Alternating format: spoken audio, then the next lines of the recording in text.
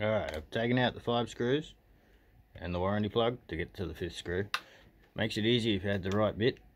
This is a, uh, well it's the right bit. It's got a tiny little hole in it which matches the tip of the screws. Um, I got it from somewhere, I think it was eBay. But uh, just a heads up, I know a thing or two about Ryobi. This is a 10 year old drill and a 10 year old battery. This poor drill has been seen some bloody damage, some drops, some spills. I love it. Hammer impact. Magnet. No dodgy light.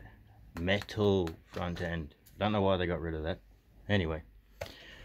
So, it's undone. Give it a wiggle and a shake and just, you can get it undone, but I'll need two hands. So, uh, hang on, I'll be back. Alright, with a bit of a crack, you can crack the top off.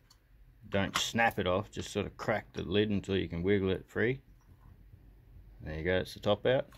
Try not to dislodge the buttons because they shoot straight up and then it's pain in the ass to get them back in. So try not to touch the buttons so they don't fall out. Now the little metal plate on top is the thing I was talking about. This is non-conductive. And it fell out when I did it the first time because I wasn't holding it vertical.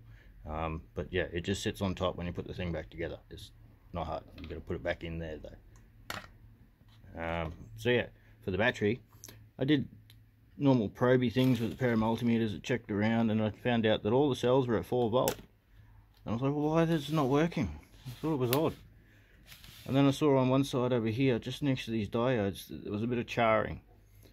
I was like, oh, the diode, I don't know. Anyway, I checked it. I was getting voltage on both sides of both of them. So then I had a look down. Ooh, almost lost the buttons. See, it's careful. You grabbed it like that, and the buttons went straight up. The battery stayed. Anyway, down under here, these terminals across here, there's um, transistors. I don't know. I'm no technician. Can't get a light in there. Hang on.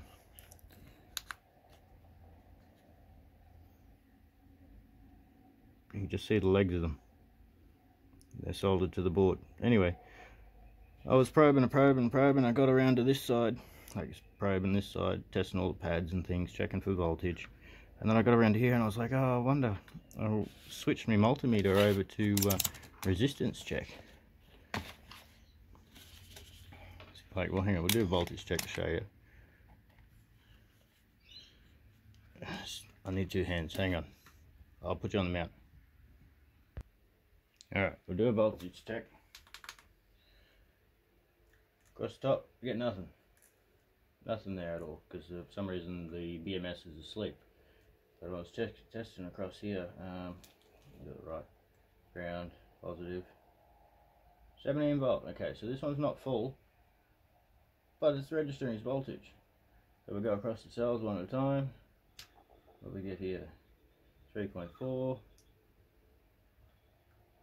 3.4, bet you everything balances. 3.4,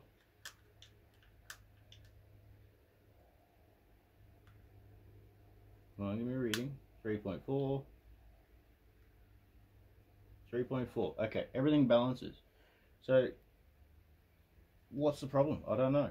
So what I did, for some silly reason, I don't know why, I'm no electrician, no sparky, no technician at all. I decided to run me, me uh, resistance probes across these diodes, and then I heard a click. Where's the first diode? Here we go, we go. The last diode across there. Oh, my probes bucket. Cheap ass bloody thing. $10 multimeter. I was getting a reading on there, but it wasn't consistent. Then I checked across here, nothing.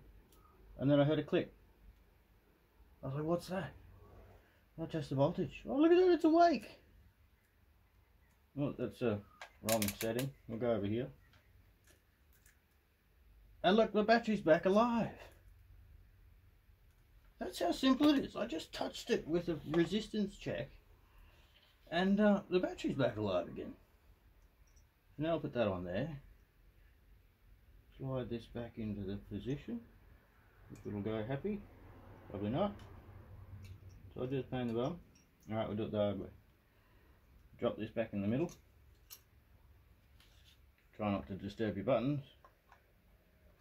Slide that back together. Click. Spin around, push the thing. Oh, look at that. It's working.